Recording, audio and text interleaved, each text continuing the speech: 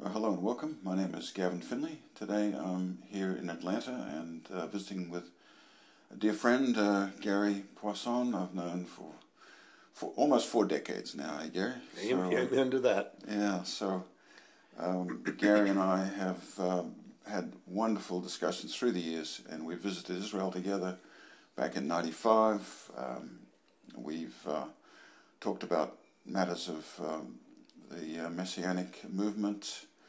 Uh, Gary belongs to a wonderful congregation here in Atlanta, congregation Beth Hallel, and House of Praise, which is uh, which we come up and visit uh, during the feasts um, because I do it really well here, and uh, have a wonderful seder in, in the springtime Passover.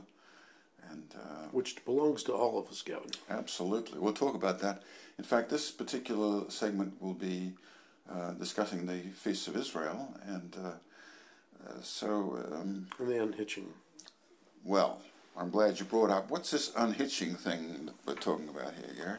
Well, Gav, I believe that there's a movement going on, and it's not of God's purpose, but it's of man's purpose, and maybe those powers and principalities behind the scenes.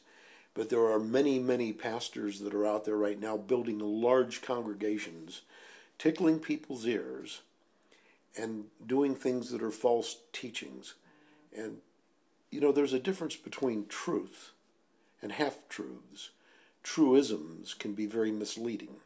And there are many pastors out there, a very large one in the Atlanta area right now, who is unhitching the Old Testament from the new and basically saying it has no purpose whatsoever. Mm. You know, I find that very hard to believe logically because if you go to Scripture and we talk about the Word and Messiah, God is the living Word. Mm. His Word endures forever, is what people say. So if it endures forever, what part of forever are we unhitching? So I, I don't understand the logic behind that. I know the reason why because it's nefarious coming from powers and principalities ultimately. But you can't unhitch one from the other if the Word is the Word. He is the Word. His Word endures forever. How do you unhitch that? Logically, you can't do it. Well, there's also a, an ulterior motive insofar as they would like to uh, identify the Old Testament with the law. And they will say the law has been done away with, it's been nailed to the cross, and, and all these half true, well, blatant, un, blatant untruths, untruths uh, based upon um, fuzzy ideas, really. So we've got uh, a prominent minister um, saying that he wants to unhitch the Old Testament from the Christian church. I want to I want to address something. They say that it was nailed to the cross and done away with. Who was hung on the cross? On our behalf was our Messiah, God who came in the flesh, Emmanuel. And he said when he walked amongst us, he said, If you love me, you'll keep my midrash, my commandments, my law. Mm-hmm. So, how do they reconcile that? If it's been nailed permanently to the cross and it has no bearing anymore, how do they address the fact if you love me and you have me in your heart, you'll keep those laws and commandments? By the way, those laws and commandments were set forth by God for man's benefit anyway. Well, there's the good news bypassed and smoke screened and cloaked. I mean, the good news is that the law is not a grievous issue because uh, it's written in the hearts of those who, who cry out to God and come to believe and, and follow Him. And who love Him. Uh, well, that's an old, old story. It goes all the way back uh, to the Garden of Eden, uh, the good and the bad and the ugly. Um, and all the saints in the Old Testament, uh, it was no big deal for Rahab the harlot to, uh, to um, say, Look, I want to go with with you people. I want I, I want to go with your God, and uh, to hide the um, the spies, uh, little things like that, indicating a, a dramatic change of heart or a, a, commitment to the God of Abraham, Isaac, and Jacob, in all sorts of different ways. Well, that's the commitment level, Gav. Yeah. Because with these teachings that are out there today and unhitching and all this prosperity movement that you can have anything you want. Once started in the 70s, you can name it and claim it, and God will give you anything. They've taken Scripture out of context. You can have anything that's a desire of your heart, but if you've invited Messiah into your heart, your desires aren't what they once were. Mm. And and yeah. so things change dramatically. But if you look at the, the fact that, you know, they say it was nailed, it's done away with, and what have you, those are false teachings. The prosperity teaching, as it's being taught in the church in generality, is a false teaching based on half truths rather than the full word and truth. Mm. You've got teachings that are out there um, that are just outright bizarre and have nothing with no scriptural basis behind them whatsoever. Mm. But these people who are following these men and women that are preaching these gospels, which are, by the way, not gospels of God, but their own workings within it and their own manipulation of God's word, there's going to come a day, and it may be sooner than, than later, that we've all heard about the great gathering and harvest and the great falling away. Hmm. And what one of the things that's going to be part of that great falling away, and it saddens my heart, is many of these people were misled not by God and not by His word, but by men and women who manipulated God's word. But what is mankind going to do when they fall away and things don't turn out the way they were told? They're going to rail and shake their fist at they'll God. Be, they'll be angry at God. Not the uh, people who led, misled that, them. That's amazing, isn't it? That people will people will be hurt by uh, by false teaching, and then when the when the um, the reality finally hits home that they've been misled, they're going to blame God. I mean, this this indicates, I suppose, the mystery of iniquity, which which we don't understand. It's, it is a mystery. Why is there a mystery of iniquity? Why do some people rage against God and other people desire to come closer to Him? We don't understand those things. But the fact of the matter is that history, as it unfolds, is going to reveal the falling away and the greater glory. And, and, and if Joel promised that the greatest outpouring will occur right at the very uh, end of the age, um, when the sun turns to darkness and the moon to blood, and Jesus said that's after the tribulation. Right at the very end, he said Joel saw Joel saw the peak of the Holy Spirit outpouring right at the very end of the age, indicating that the harvest is going to be well watered by the latter rain, well provided for by the Holy Spirit, well energized um, for, for, the hearts of men who are being pressed and challenged and persecuted. And so, with all this encouragement, why are we saying that, um, that, that, the last seven years are a chamber of horrors and that we shouldn't be responsible? That's where things are going to be coming to uh, the full resolution on the chessboard when God says, seven more moves to irreversible checkmate.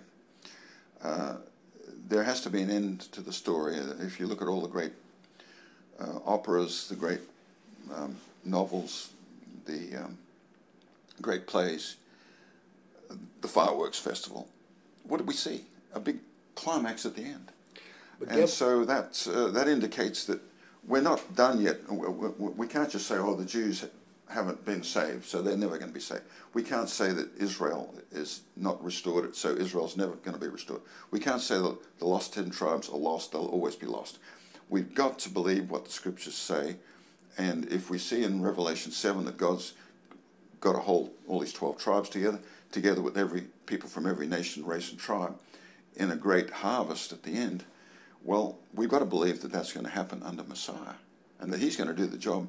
It might not appear like it's happening too fast right now, but it can be sped up quite considerably in the squeeze box of the latter days. So, uh, the only way that the unhitching that we were referring to earlier can take place, and these people can manipulate and mislead the masses, is by taking and parsing God's word, taking truisms, half truths, putting them out of context we live in a society that opens the door for all that to even be taking place right now. We want an instant gratification.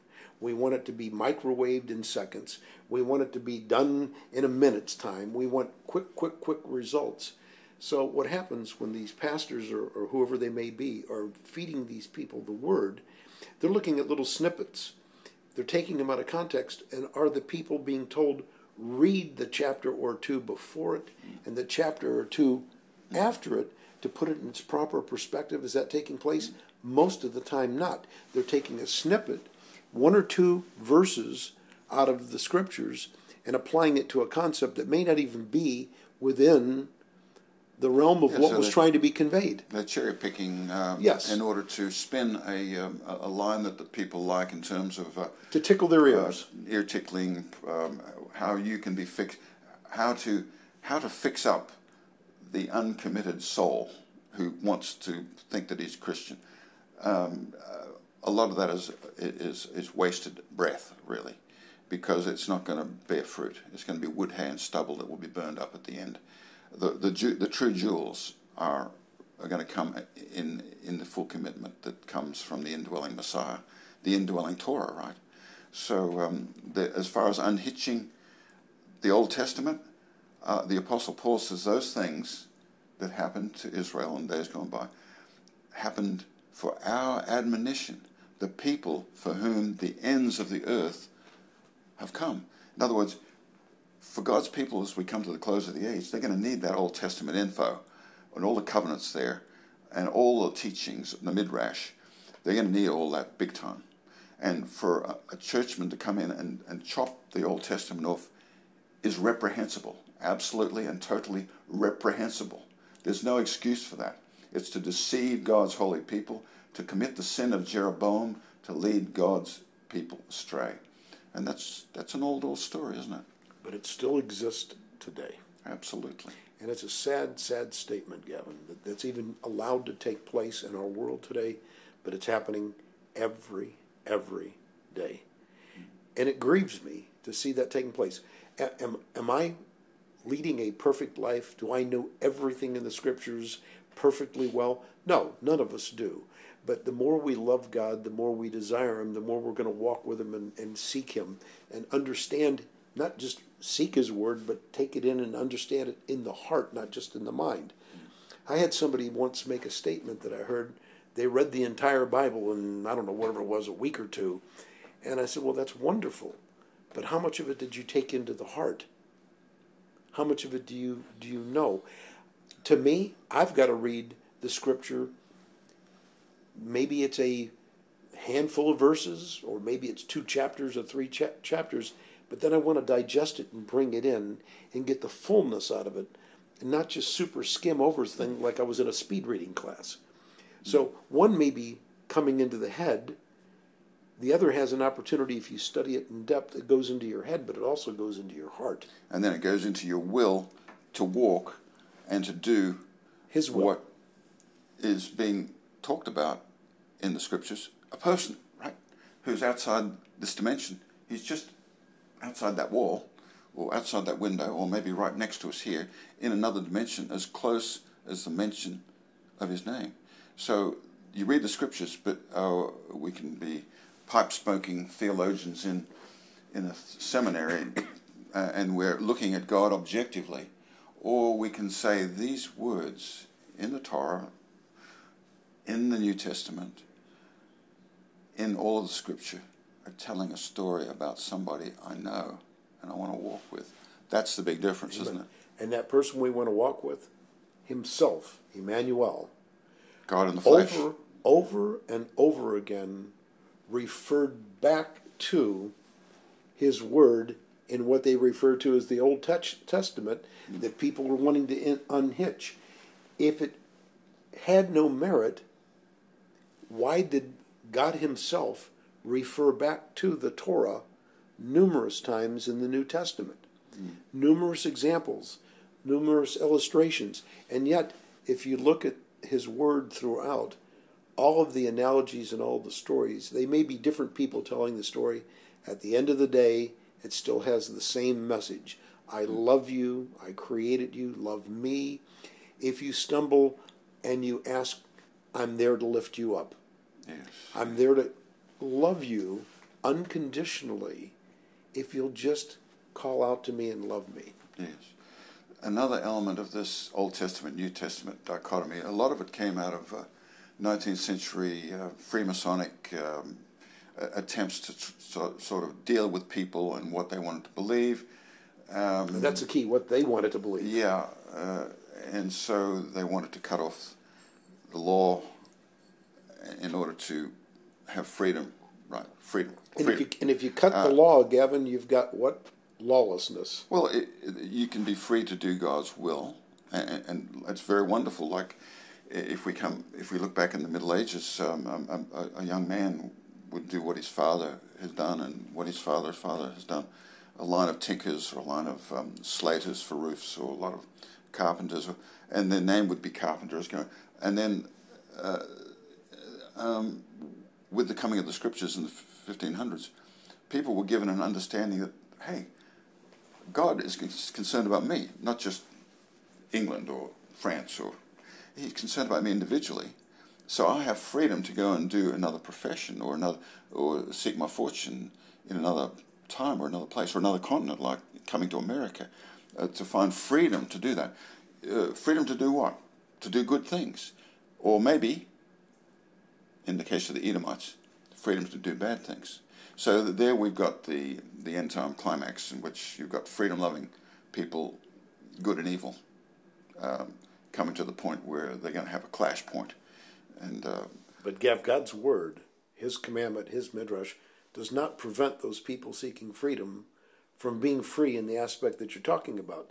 But what it does is it's there to keep the people in check that are the Edomites you refer to, that are going to use it as a way to wreak havoc, rape, pillage, plunder, steal, whatever their desire may be.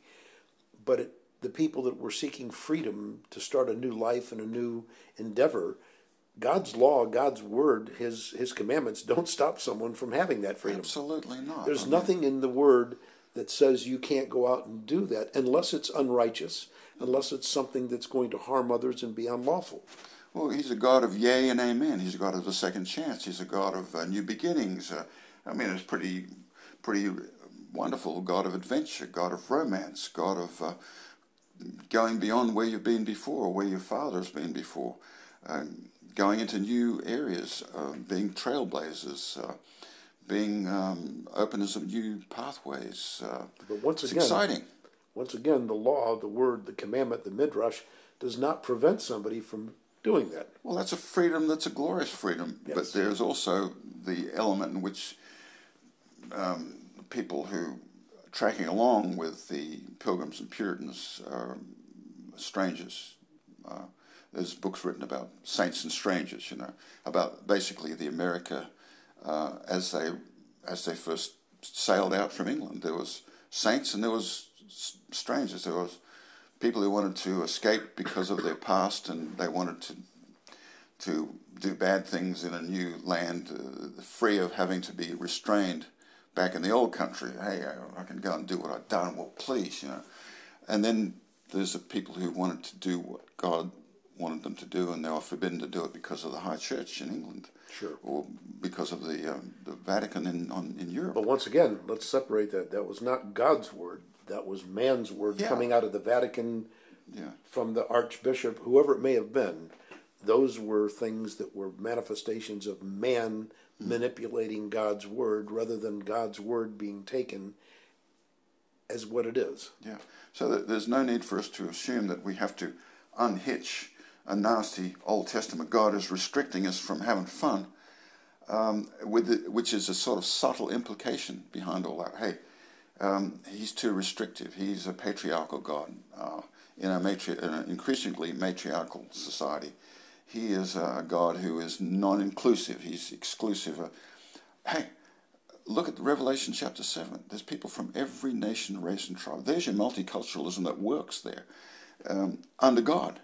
And uh, all the other multiculturalisms uh, lead to war and wrangling and trouble in the committee rooms of the UN. Uh, well, That's creation of man, not yeah, God. yeah. So um, this unhitching issue, well, that needs to be unhitched uh, from our. A- actually, it's blasphemy and an- it's an it's an apostasy. This is we talk about the apostate church. oh, yeah, That that's a manifestation in its own right. because it's a slander against against the God who manifests in the Old Testament initially as a God of righteousness. But if he come, if Messiah comes into the heart, he just doesn't come in with his altar. He comes in with his throne. You know, he establishes the throne in the heart. You know, uh, let the Lord of glory be the ruler of my heart. Turn from sin. Turn from sin. at the cross of Calvary is where I made the start. Let him reign within. That's not a grievous issue. No. Uh, his reigning in a throne in my heart is a delight. Uh, and then he's, when we screw up, there's his altar for mercy. Say, Lord, I messed up here.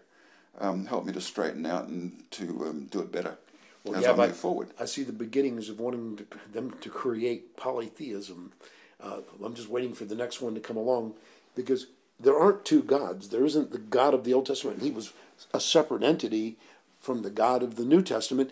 He is one. His Yeah. word was in the beginning. His word endures forever. He is the same then.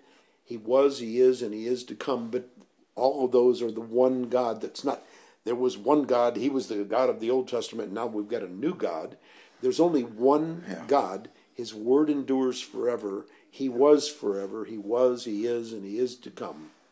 Yes, yes. So we've got a, we've got this false dichotomy, and it began way back um, after the death of Solomon, the breach of Jeroboam, and when um, the lost ten tribes, who later migrated into Europe, and became the Western people, they told the royal Jewish house um, to take a hike and that they wouldn't be associated, and uh, the lost ten tribes were divorced from uh, by God. And then the only way in which they could be remarried is through the death on the cross of the the Messiah, and He gave them through the new covenant, as we just read from in, in Jeremiah, um, the law written in the hearts and reconciliation with the God that uh, that they tried to to um, establish a, a, relationship with at Sinai, but that covenant broke, and But it was still God- the same God. it's the same God, it's the same law. The law hasn't changed. It's just that the covenant, the deal, in which Israel, the children of Israel said, "Yeah, we'll we'll obey that, um, uh, but we don't want to get too close to you, uh, Moses. You go up to the mountain. Uh, that, the smoke on the fire on the mountain. It's too frightening for us." Um, that was that was a good first step, but obviously, uh, in the journey of the pilgrim journey, God intends for His people to come to that point and say, "We're done in. We can't do it. We've got to cry out to God as a God of mercy." And if you look at Isaiah chapter six, Isaiah, you know, uh, it was a fearful thing for him to see the Lord. Um, I saw the Lord high, and the the um, the, the, the fear of that moment. Uh, the pillars moved, uh, and uh, and God said, "Who will go for us?" And oh, before that, he said, he says, um, uh, you know, what will be the end of, of things? And he said, until the city is destroyed, the land wasted, and uh, tell this people, you know, hard of hearing, uh, people who, who are, who are just not going to hear me. Uh, and, and Isaiah knows that hey, this is a this is a bad rap from the God of righteousness, but there is still behind that a God of grace and mercy. And so he says, yeah, that's a pretty bad rap, but there's got to be another part of the story that's got to go on to um, to reveal the God of mercy. And so um, But once again, that God of mercy is the same God. Exactly, exactly. So Isaiah says, "How long, Lord?" Or, You know, he says, "I know that that's not the end of the story. How long?" And um, if you can, you can read Isaiah chapter six. It's absolutely classic. Um, but Isaiah knows that there's a God of mercy behind the, the fearful God that triggers us uh, and triggers a lot of the um, Well, people that can be triggered today uh, who, who want to react against the Old Testament God and say, oh, he's a harsh, old, patriarchal But God. see, but see, Gav, that's where they start separating him and making them two different gods. God has more than one nature, just like It's a dual office in, under the order of Melchizedek. yes, you know. but it's still the same God. He just has different natures. He's got that one that wants us to live by His law, which was designed for us, and He's got that grace and mercy that He gives everlasting to His children. But it's not the God of this one and the God. It's still one God forever. Yeah, well, we, we, we had that experience when we got to school, didn't we? There was there was a teacher's pet, and then there was the others that saw the other side, the other side of the teacher. Yeah. I mean, um, I, I always had a good relationship with the teachers. When I screwed up, I was the last person in the class to screw up, and so when I screwed up, in comes a teacher. Who gets it? I get. I get it. Even though these go- these other people are Well, you are- bore you bore what all those others yeah, that's right. Yeah, but um, but nevertheless, uh, generally speaking, um, I, I wanted to learn. Uh, I got rambunctious at times, um, as Australians are inclined to do. I went from Australian classrooms to Canadian classrooms and the US classrooms. I can tell you what, the Australian cl- classrooms, they were pretty rambunctious compared to the American. The American classrooms, I mean, people, people were pretty. The kids were pretty obedient, um, and and then when, now we know because the bulldozings of evangelical faith have gone into America, which is reflected on a, a, a greater sense of uh, law and order. At least that was the case. It's Sure. not so much the case now, but um, um, the teacher's pet knows one side of the teacher, and then the rat bag guy knows another side of the teacher. But it's the same teacher, right? It yeah. depends on how you relate to the teacher. Absolutely. You know, you, you brought up Jeremiah, you've brought up Isaiah, Ezekiel, all the prophets that are in the Tanakh or the Old Testament. You know, we could have another discussion, and I think that would be a, a, a good thing to have sometime. That those prophecies that were set forth by these gentlemen, which was coming from God, weren't just applicable to the people of the Old Testament, but they're applicable, to the body of believers today in many ways, and we lose sight of that as well. And so, by the unhitching of the Old Testament and those prophets and what they foretold, they're unhitching something that God had a message for the church today that's being missed if they unhitch it. Because there are statements in there pointing to not just the people of then, but the believers of today. And I think that would be a good good conversation sometime, Gav. But I've really enjoyed doing this this morning. I really um, enjoy getting together as we've done over the years, having these conversations. Uh, hopefully, we open up the minds and hearts. More, more importantly, the hearts Yes, of yes. people that are out there that have watched this video and other videos. And I commend you for the great work that you're doing on behalf of the Lord. You've done many of these videos with many people, and hopefully they touch people in fullness and in truth. But I thank you, Gavin, for this opportunity. Thanks so much, Gary. It's been another good conversation. Amen to that. And um, we left our brothers and sisters with uh, the important truth that the Old Testament is very definitely not to be unhitched from our faith Amen because it's that. key. It's a key to uh, our faith. Uh, the Old Testament uh, is the New Testament concealed. Uh, the New Testament is the Old Testament revealed. So, Amen. yeah. Thank you, Gav. Thanks. Thanks to you too, Gary. This has been great.